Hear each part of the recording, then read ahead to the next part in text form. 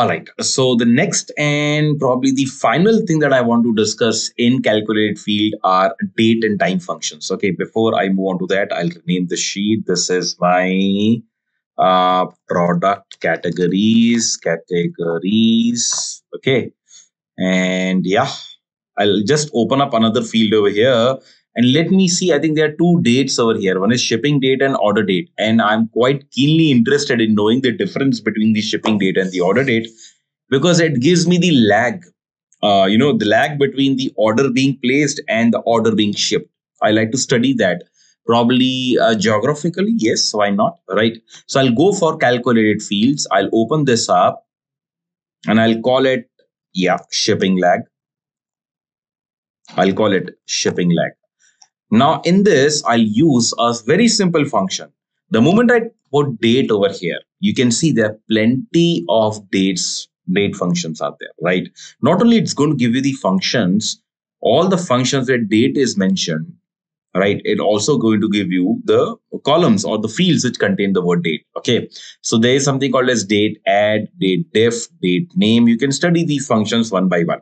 As of not today, what we're going to use in this video is date diff.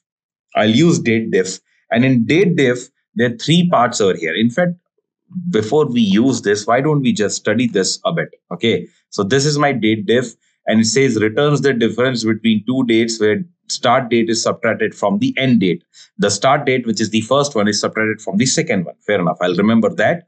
The difference is expressed in units of date part, in units of date part. Okay. The difference might come in days, might come in months, might come in year, might come in hours, seconds, or any other unit, right? So probably I'll have to define that. For example, here it is defined as month. And this is the difference between the two dates. And finally, it says that the week uh, start day is determined by the start day configuring configured for the data source. All right. So it says that start of the week is majorly, uh, you know, uh, it's nothing. It's just uh, which day you want to start from. Okay. So I probably uh, let's see I can avoid the fourth variable over here or not. Right. The start of the week or fourth element of this particular function. So I'll go for I want first thing in quotes is I want the difference in day because I am aware that shipping date and order date will not have a lag of months. It'll have a lag of days only. So I'll just put it day. Start day is my order date because this date will be subtracted from the next one, which is my ship date. Right? And I'll just keep it as it is.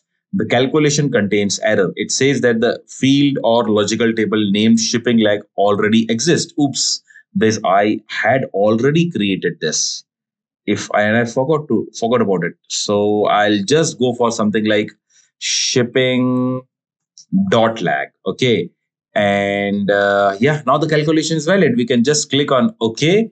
And my shipping dot lag, I think shipping lag is just above this. I'll just delete this because I would have just, you know, created it before. I can just click on this and rename this the original one, right? The one that we've just created.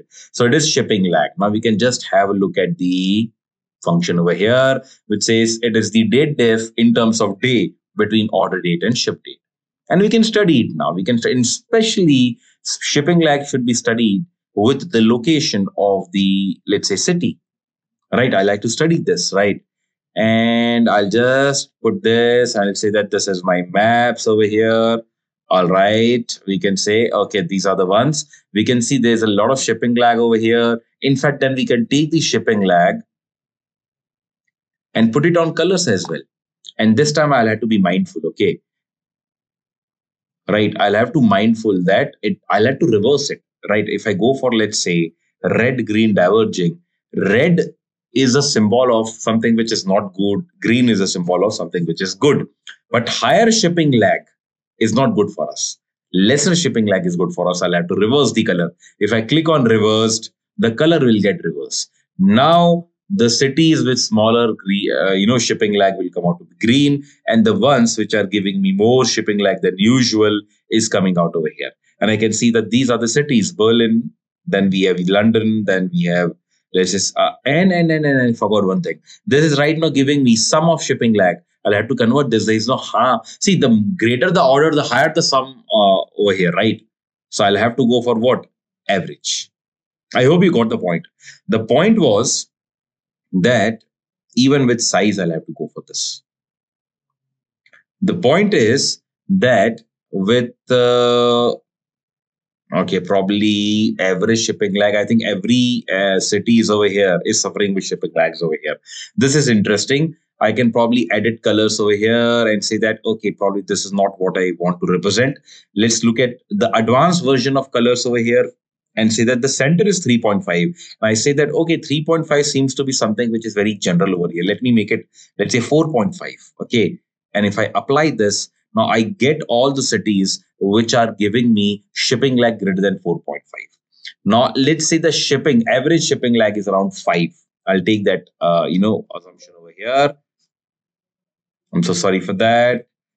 And we'll just click on OK. Now I'm getting all the cities where shipping lag is greater than five. Makes sense. Okay. Now why average shipping lag? Because the greater the number of order, the greater the ship or number of order dates and shipping date, the greater the number of shipping lags. So sum will not be the right representative over here. The average is the right representative over here. That's what I realized and changed it. Now I can see it in the map. Okay. Or probably I can just click on show me and let's say click on this. That way I can easily, you know, see in map that which are the cities are we talking about. Oops, it went out of color. I'll just put shipping lag back into color and this is how it'll come out to be. Okay, I think I have made some changes, but yes, we get the point, right? So this is, I'll just hide card. I'll convert this shipping lag into average and I'm back to my original diagram, right? So this is what date diff functions can do.